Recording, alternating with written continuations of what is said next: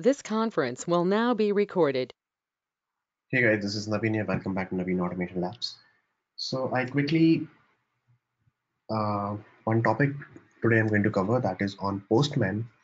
And uh, some couple of people were asking about that how to write the test cases in Postman. And I have seen some of the uh, questions also on my blog, on my Facebook page, as well as I'm getting some mails that can you please create one basic video that how to write a test case in Postman. So I'm pretty much sure that, okay, I'm expecting that, okay, you guys are already aware about Postman, how to send a request, how to get the response. And, uh, but after that, Postman, not only for sending the request and getting the response, you can write some script over there, you can write some JavaScript as well as you can uh, test and you can write some assertions over there as well. It means ultimately you can write the test cases against your response.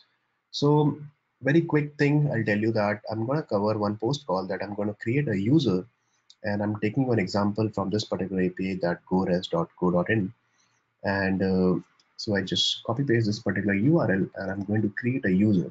So first I'll tell you how to create a basic user from this particular API. So this particular API is having all these uh, different, uh, you know, uh, APIs are available, get, post, put and delete. And then I'll be using this particular API to create a new user. So you simply write something like this. This is the URL. And here we need to pass, uh, first of all, authorization. So as a header, we have to pass the authorization. So I simply pass my authorization as a bearer token. And this bearer token you can generate on this particular site. So this authorization token is already available with me. And I just go to API access and this is the access token I'll be using it and this is a bearer token so i'll be using as a bearer token. You guys can generate your own token okay on this particular site and you can execute okay different apis okay from gorest.co.in it's very simple very straightforward very simple apis are available. And then to create a user we have to pass as a body as a json. So i'll select body go to raw go to uh, json and here we have to pass a json payload over here so I have already created some payload that how to send a particular uh, JSON. So I'll do one thing, I just copy paste something like this. Let's see. This is the kind of payload guys that you have to pass. Okay, so uh, like this and uh, yeah. So here what exactly we have to do that we have to pass some, let's see, some data about any specific user.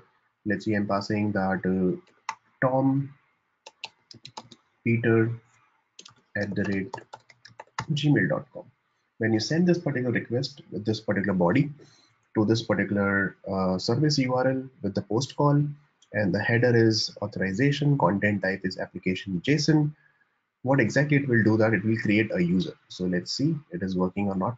So i'm going to create a user and you see that okay i'm getting 200 response code and it's saying everything worked as expected and the user actually got created over here.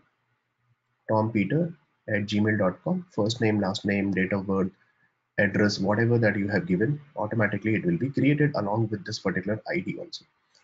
Now we have got the we have got the particular user creation part. Now you can see there is one tab is over here test tab. You click on this particular test and here you can write some javascript. So postman uses javascript library and you can write some test cases over here with the help of some JavaScript library. And the moment you click on test, here in the right hand side, you will see some code sample snippets are available. So let's see, want to check what exactly the status code. So you simply click on this, status code is 200 or not. So you click on it, automatically one sample code will be generated over here.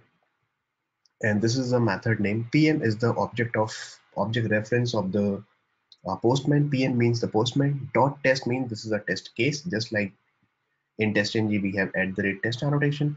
And then this is a function name that is status code is 200 or not. So you can write any function name whatever the name you want to give. And then it's saying pm dot response object go to to have status should be 200 right? Now you execute this particular uh, api once again. Every time what we have to do we have to change the let's see email id so now next time because this user already got created. Now next time we have to give a new email id and i'm sending the request. And then you see the response. I'm getting the response that okay now this time a new user got created. And here it will create one test result tab over here. And it's saying the status code is 200 that is got passed.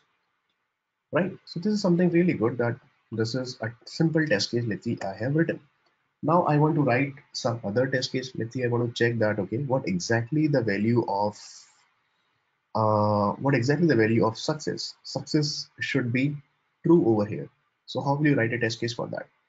So for that, I'll just scroll down and then you can see that uh, one response body JSON value check over here. You just click on it, one code snippet will be generated and then this is the test name, your test name. Let's see, I'm going to check that uh, verify success value is true, something like this. And then this is a test pm dot test. And then here what exactly we have to do? Pm dot response go to the response and get the json object store in this particular variable that is json data variable. And this is the assertion just like in a testng assertion same thing we are using pm dot expect json data. Which data that you are expecting? I'm expecting go to underscore meta. From this particular meta you go to dot success dot success and then it should be equal to true. So we have to write instead of 100 i'll be writing 2 fine. And then you hit this particular api once again. But next time again we have to change the email id that i'm passing to this time and then you send the request. Fine. And you see that again i'm getting a new user got created. I'm getting a proper response 200 okay. And the test results also both the test cases you can see got passed. The status code is 200 verify success value is true or not. Right. So like this guys you can write some different test cases over here like this. There are some different content type and all those things also. Response time is less than 200 milliseconds. Let's see if you want to write response time okay within 200 milliseconds or 300 milliseconds. So let's say i'm writing response time should be within 400 milliseconds i'll be writing another test case like this okay like this. Then one thing if you notice that every time as a body we have to pass one variable that is called tompeter2 at the rate gmail.com this particular email id should be unique. Maybe first name last name gender date of birth can be same but email id should be unique whenever you are going to send a post request whenever you want to create a new user you have to send a new email id every time. So this is uh, this is a pain point that every time I have to change it manually. So this also you can automate actually. So how to do that? So for automating you exactly go to one thing that pre-request script. This particular tab you click on it. Here also you can write some javascript library. You can write some javascript code with the help of postman javascript library. And then pre-request script means before executing your api before hitting the api before that what exactly you want to do that this is just like at the before method or at the before before test in test testng or JUnit. So how exactly you can write over here? So what you need to do, you simple create one random method, okay, which will generate one random number. And then what exactly we will do, we will append that particular random number over here like this. Okay, so how to do this? So for doing this, I'll be creating some one variable. Let's see, one variable name is random is equal to, I'll be using math class from the JavaScript. And then I'll be using a random method like this. Convert that into a two string of 36 character something like this. And uh, 36 base character. And then I'll be using a substring. And substring of 2 I'll be using it so simple method I have created which will generate a random number and then what exactly I'll be doing that I'll be creating another variable like email uh, let's see email address variable is equal to what exactly email address. So I want that, okay, my email address should be like this, Tom plus whatever the random number we are getting. I'll append with Tom plus in double quotes, I'll be writing at the rate gmail.com. So what will happen? Whatever the random number is there, let's see, 1, 2, 3, 4, 5, 6, or whatever the random number is coming, it will be appended with Tom. Let's see, Tom uh, 123 at the rate gmail.com. So every time I'll be getting a new email ID. and once we get this particular email id what exactly i'll be doing i'll be doing pm dot okay i'll be generating one environment variable. So i'm going to set one environment variable over here as well. So you simply click on set an environment variable. So what is your environment variable key? So let's see my key will be email address. I'll be using the same key and the value should be this. Okay it means at the runtime create this particular email address an environment variable which will be applicable for for your uh, postman environment variable. And then you can use this particular environment variable anytime and then you pass the same email address that you have generated a unique a dynamic email address that you have generated with the help of random number assign the value to this, to this particular email address field. And then once this is done you go back to sorry you go back to body and here over here you remove this guy. And what you need to do I'm putting one curly braces like this double curly braces like this. And here whatever okay? The email id that you are going to use it whatever the environment variable. So this is the environment variable. I'll be using it. So i'll just copy paste this particular environment variable over here. Email address. Right? Okay? Then what will what will happen? When you hit this particular api random number will be generated. A email id with random number will be generated. I'm going to set one environment variable and then it will go to body. And then the same environment variable value i'm going to pick it up over here and then email address will be stored over here. And after that the same email id i'm going to verify in my test. So how will you verify in your test? So to verify this thing what you have to do? Same thing. I'll be creating one more let's see uh, json value check over here.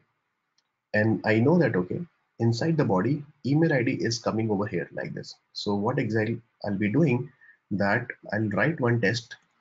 Change the test name is verify email id value something like this. And then json dot data dot result this is coming under result result dot email id dot email or whatever the key is there key. It should be equal to what? So it should be equal to whatever the environment variable that you have created actually. It should be equal to that. So we have one more snippet is over here that is called get an environment variable like this. And what is your key? My key is this that you have actually created over here. Like this this is the email address is the key for your environment variable. Like this. And then I'll be using this entire environment variable. I'll be using this should be equal to this. Like this. Okay. So this is a test case simple test case let's see I have written that verify email ID value. I'll repeat result dot email it should be equal to. So how will you get how will you reach at the email field in the body? You just need to go to result go to email and this is the email id and then it should be equal to whatever the environment variable that you have get it. So first we have set it with the help of prerequisites. This is called setter. And now inside the test i'm using a, a getter over here dot get method. And which get this is the key. This is just like reading the properties file. Dot set property and dot get property like that. And then you hit this particular API and then we'll see it is working or not. So you run it and you scroll down and you see that this time a random number you can see that Tom something like this got generated at the rate gmail.com and if you see how many test cases got passed you see four test cases were there. All the four test cases got passed. Verify email id value response time is less than 400 milliseconds. Success value is also true and the status code is also 200 so like this guys you can easily write a very straightforward very simple test cases like that. That's why i really like this particular postman tool. And if you don't want to use rest assured or any http client or java simple you can come over here and you can hit the apis and in the postman itself you can execute. I mean you can write really good test cases and you can uh, write some really good smart test cases and execute directly from here as well. Like that. And n number of test cases you can write for your other assertions from the body as well. Like that. And here you can do some parameterization part also. Okay? And simple basic script you can generate with the help of random number and all those things. Easily you guys can do it. Okay? But make sure whenever you are using it you have to write it inside the curly brackets like this. Within double quotes because email will be passed as a string. So we have to write within double quotes over here like this. So this is a small topic I really wanted to cover guys. So please, um, uh, if you have any questions, let me know and please try all these basic, basic things in Postman. Definitely it will help you a lot. Okay, thank you so much guys. Thanks for watching this video. Please subscribe to my channel. There is a subscribe button is there. You can click on it and there is a, a bell icon is also there. If you are not getting any notification from my channel, if you press that particular uh, bell icon, immediately you will be getting a notified, you will be notified with a new video over there. Okay, so that you won't miss any new video over there. Thank you so much guys. Thanks for watching this particular video and keep watching Naveen Automation Labs.